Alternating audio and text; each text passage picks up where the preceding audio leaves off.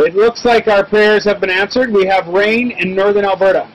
Before I go any further, I want to obviously thank the Food Bank of Edmonton for their generous donation. They asked us to come up here today and help deliver some foodstuffs and some other products. Uh, it's a little rainy here, but I'm not complaining. I'm happy with the rain. To the people returning to Fort McMurray today, my friends and family and the citizens, uh, and the other people that are returning, of course, throughout this week, we want to share one particular message, and that is welcome home. Life will not be normal for any of us for some period of time. We will have to deal with not just the shock of coming back to our homes and our properties and not having them there, but also the mental shock and the need to assess and go through all the different processes in their own minds and their own properties.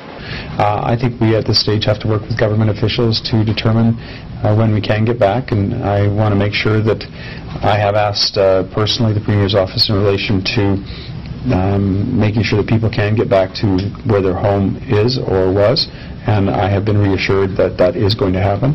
Uh, for all those citizens that are wondering whether they're going to get back there and be able to examine what is left of their home, uh, my assurances have been that they will be able to, and I and I hope people are able to just have the patience necessary to uh, wait.